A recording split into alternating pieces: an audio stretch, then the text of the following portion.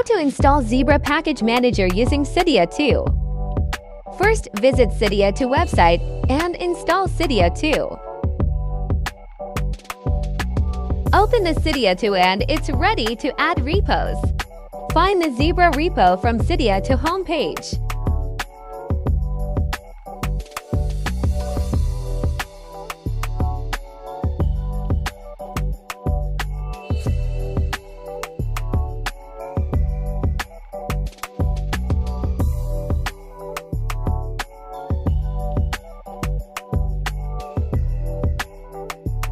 Copy the Zebra repo link.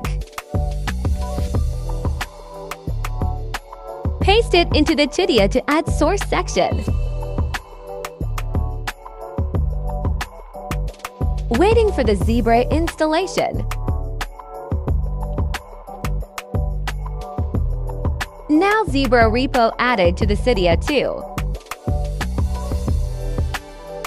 Open the Zebra repo and install it to your iPhone device.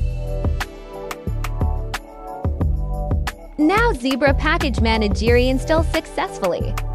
Open Zebra and install favorite themes tweaks, games, and other iOS modifications.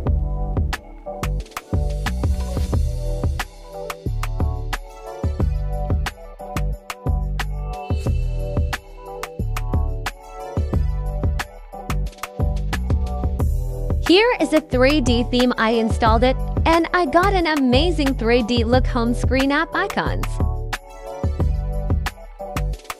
Thank you for watching this video. Subscribe for more amazing things.